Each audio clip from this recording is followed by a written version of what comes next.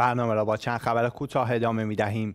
فرونشست اصفهان تا آنجا پیش رفته که حالا به میراث عظیم چند صد ساله و بلکه دو هزار ساله اصفهان رسیده و ترک ها با سرعت بر روی دیوارها و سقف بناها پیش می روند.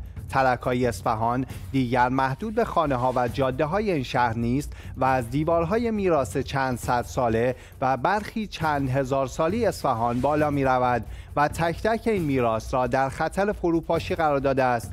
عکس های جدید و تکان, و تکان دهنده ای از ترک های عظیم بر روی آثار باستانی اصفهان در فضای مجازی منتشر و خبرساز شده که متصدیان میراث فرهنگی در اصفهان ترک های آثار باستانی در اصفهان را با روشی عجیب پنهان کردند.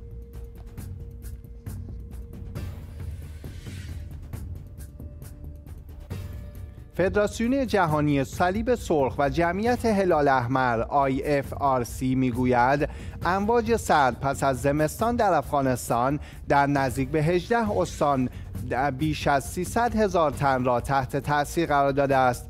در گزارش این فدراسیون آمده است که با تلف شدن هزاران دام خانواده ها و معیشت آنها به گونه قابل توجهی متضرر شدند. فدراسیون جهانی صلیب سرخ و جمعیت هلال احمر رویدادهای ماه مارس سال جاری را به مسابه موجهای سرد ژانویه سال گذشته عنوان کرده که افراد زیادی از اثر آن متضرر شده بودند. در این گزارش آمده است که به علت بارانها و امواج سرد 70 نفر در استانهای مختلف افغانستان جان باختند. مقامات پاکستان می‌گویند که مدت اقامت مهاجران افغانستانی ثبت نام شده در این کشور تا سیوم ماه جوان امسال تمدید شده است. بر اساس بیانیه منتشر شده که از سوی کابینه مرکزی پاکستان دارندگان کارت پی او آر در مرحله سوم برنامه اخراج مهاجران غیرقانونی به کشورشان اعزام خواهند شد.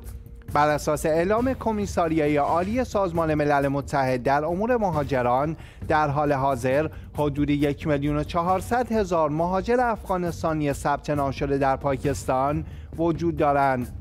کارت پی او آر سندی است که ثبت بودن پناهجویان نزد حکومت پاکستان را ثابت می کند